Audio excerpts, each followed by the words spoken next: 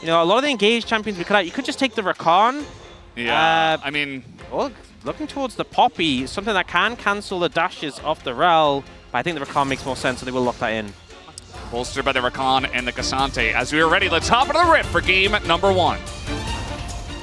I love this invade. And now really it comes down to the top side of BNK uh, to see if they can support an invade from Raptor. You can see that the pings come out from Raptor. He was looking as if he wanted to move in. Oh, Clozer's getting in there. Cuzz is here with red buff. Clozer, uh, no jump, so he's just being poked down and he has to flash two minutes into the game. Just trying to push that lead, not expecting Cuzz to be there that early. I've seen a big change in Ziggs builds generally. You know, at first people were just going for, oh, this is it. Leaper's in a lot of trouble. I mean, he's going to cleanse, but he also has to flash as another bomb is going to be thrown into him.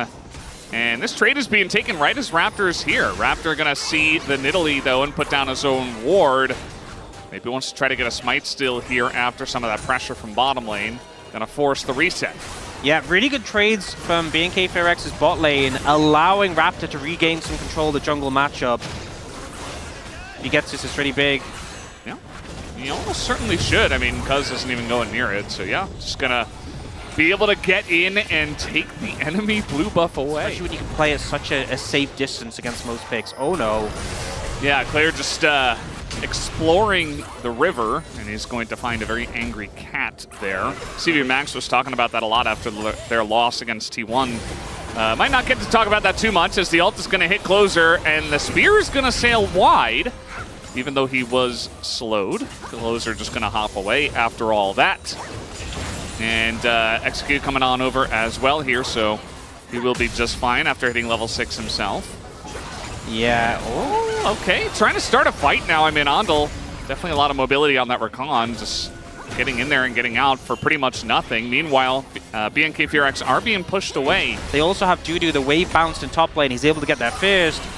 Fight breaking out. Yeah, they're going on in. Execute, though, trying to turn here on a Bulldog, but Raptor's super low. He's going to be the first one to go down. Bulldog should be traded, but they have to use so much to get him down, and Execute is left all alone, and K'Sante is going to start off the game. With but uh, so far, I just feel like, you know, Bulldog's doing a good job, but bottom lane having both the summoners blown early, not so great.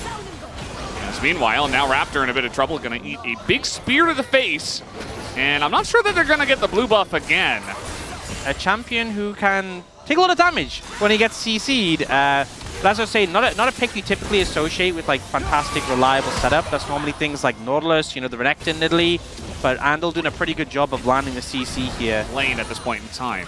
And I feel like BNK FearX, this trio, the mid jungle support, are just so focused, dialed in on dodging skill shots. Unfortunately, a lot of those landed. A uh, bit of poke on execute, and obviously a long way away from that Warmog's. But it really is, for Kwangdong Freecs, it's about setting up, getting the poke, establishing vision so you can't see the poke coming to win out these plays, and Leaper is having a rough time. Yeah. Uh, another Q's going to land, and ult online here. He is going to Arcane Shift easily out of that, but it's still going to push him away as now, look at this, once again, in goes Raptor, just following with a flash. They're very deep onto this one as now the Impale coming in. Big Way Ultimate, though, is going to take down the Rell, and K'Sante is just Oh! so tanky. Can anyone kill him? The answer is no, as Bulldog just going to kill the rest of the enemy team as all the focus went on to the Fed K'Sante, and Kwangdong Freecs easily win the fight.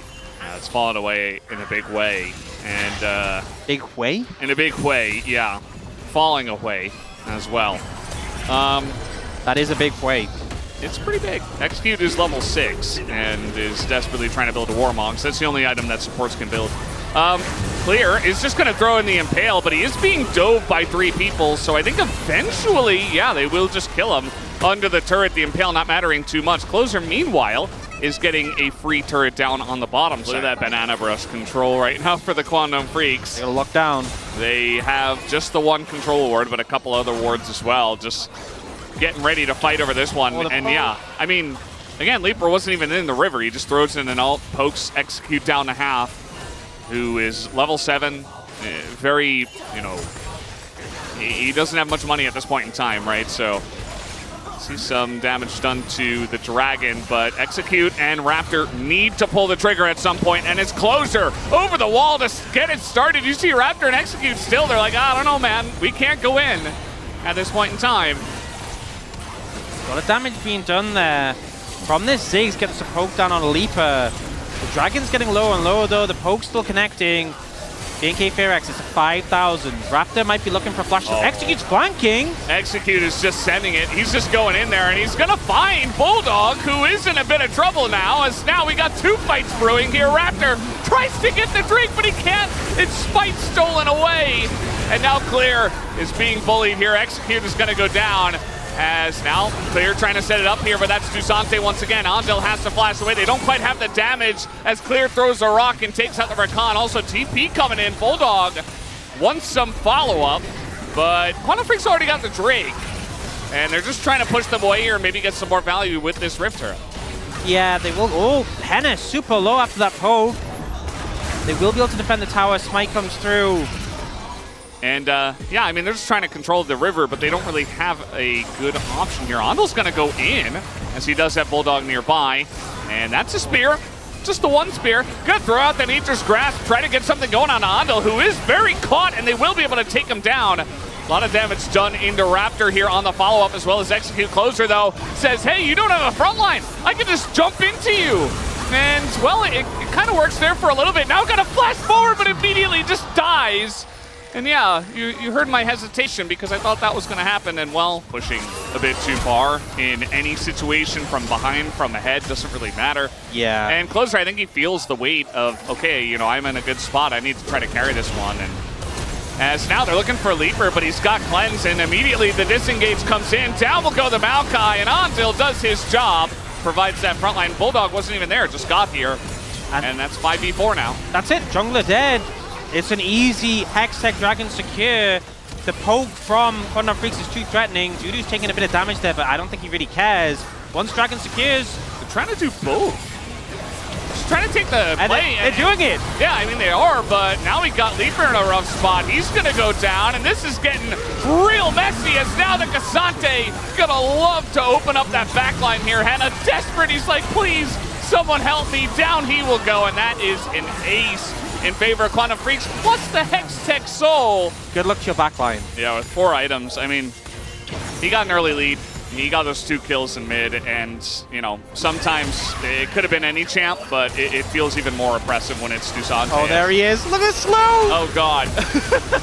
yeah, he's just going to kill them all as down will go execute. He is now legendary is the K'Sante, and now just flashing on the Tristana, a penta angle, but they're not going to give it to him kind of difficult to do on a melee champion anyway, but... Oh no, uh, the four Ziggs! Yeah, the Ziggs is just dead. I mean, there's nowhere to go, nowhere to hide. And Clear's just, well, I guess I'm going to stop this mid lane from pushing in. But yeah, I mean, we talked about this five minutes ago. Kwangdong Freecs coming in, and now they're looking to actually end the game that they won quite a while ago. Yeah, and it's just super clinical game from Kwangdong Freecs. Uh, they got everything they needed. They played their comp pretty much to perfection. I had some concerns about it, but I think this is just showing the difference in level of execution between these two teams right now. BNK FearX for four kills the tower, and that was it, you know. They are firmly in control. You can very easily sort of waver with a composition like this and fall off in those sort of mid-game points. They definitely got to the point it's insurmountable,